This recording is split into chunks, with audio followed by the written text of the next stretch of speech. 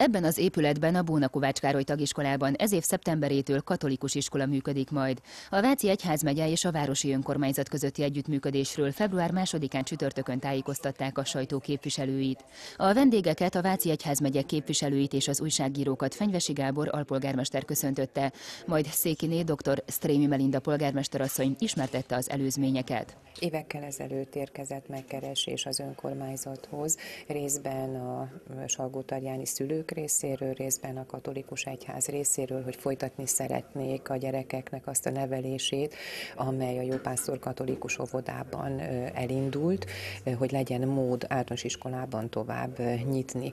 Mi akkor 2009-ben elkezdtük a gondolkodást azon, hogy hogyan tudunk mi segíteni, illetve hogyan érinti az önkormányzatot ez a megközelítés, és mi akkor úgy döntöttünk, és ma is azt vallom, hogy egy felelős városvezetésnek kötelessége, hogy azokat az igényeket kielégítse, olyan szolgáltatás igénybevételéhez járuljon hozzá, tegye meg a maga eszközeivel a lépéseket, amelyekre igény van a városban. Nos, azt gondolom, hogy ezt teljesítjük most be azáltal, hogy vélhetően a márciusi közgyűlésre kerül az az együttműködési megállapodás, amelyet a katolikus egyház és az önkormányzat köt meg.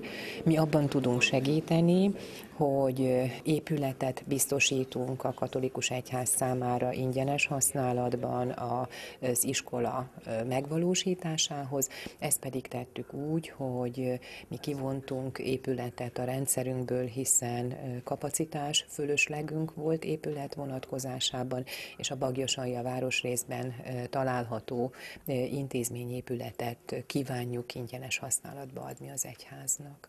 A polgármester asszony külön megköszönte dr. Bercsényi Lajos és Korponai Tamás képviselőknek a közvetítő szerepet, majd a Váci Egyházmegye képviselői ismertették terveiket. Kiderült, hogy egyelőre két osztályjal kezdi meg működését az iskola.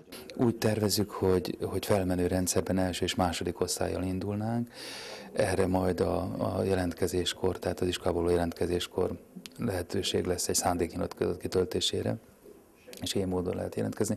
Egyelőre egy osztályt tervezünk minden évfolyamon, tehát ha, ha végig ér, akkor is összesen nyolc osztályról lesz szó, és nem szeretnénk túl zsúfolni az osztályt, mert az, az pedagógiai szempontból nagyon hátrányos, tehát a maximális létszám körül szeretnénk, de mégsem, tehát azt nem lépjük túl, van egy törvény lehetőség, nem szeretnénk mi az oktató nevelők legfontosabb célkitűzése, tehát azok a szülők, akik ide adják be a gyermeküket, azok miben lehetnek biztosak, tehát milyen hozzáadott értékekkel gazdagodhatnak majd a gyermekek?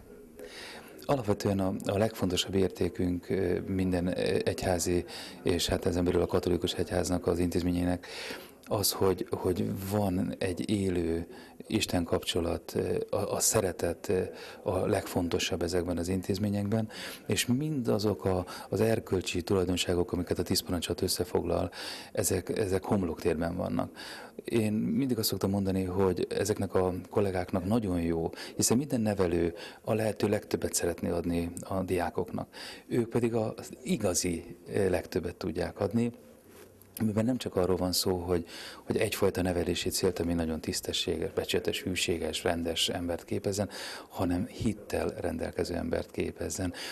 Az a nagyon fontos a, a kollégák kiválasztásánál, hogy ebben a mostani világban, ahol nagyon-nagyon hiány vagyunk a tekintélynek, a hiteles embereknek, ők, ők tekintélyek legyenek a gyerekek előtt, ők hiteles emberek legyenek a gyerekek előtt, mert egyébként bármit mondhat bárki, semmit nem ér. A gyerek mintát követ, a gyerek hiteles embert keres, és ha talál, és ez a mi pedagógusunk, akkor biztos vagyok benne, hogy, hogy a szülők megkapják azt, amit reméltek, sőt többet, mint amit remélhetnek egy ilyen intézménytől.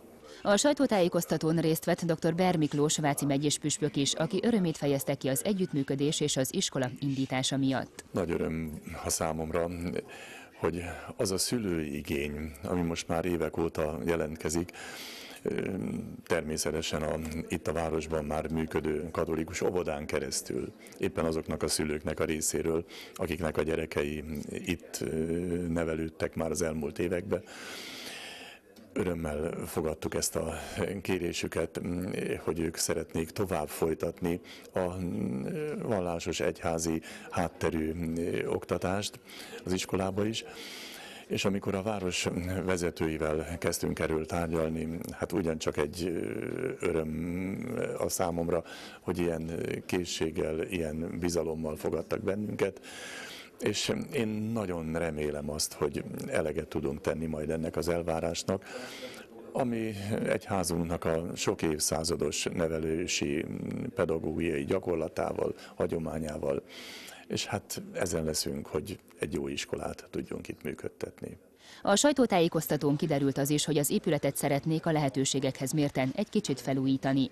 Dr. Bercsényi Lajos történelminek nevezte a napot, hiszen 20 évvel ezelőtt keresztény óvodát indított Csalgótarján, most pedig iskolát alapítanak. A képviselő bejelentette, hogy az iskolának már felszerelései is vannak, német segítségnek köszönhetően. Németországban gráfikban kijutott a hír, hogy szándékozunk indítani Bagjasolyán egy keresztény iskolát, és az ottani közösség összefogott. És ennek keretén belül örömmel jelenthetem, hogy egy tömött kamion, iskolafelszerelés, különböző használati tárgyak, könyvek, ruhanemű, és, és, és nagyon jó minőségű olyan eszköz érkezett, amelyet iskolában is, szociális intézményekben is, ha rászorultaknak szét tudunk osztani. A tájékoztatón részt vett Varga András plébános is, aki arról beszélt, hogy üzenetértékű az, hogy éppen Gyertyaszentelő boldogasszony napján jelentették be a katolikus iskola indításának tervét.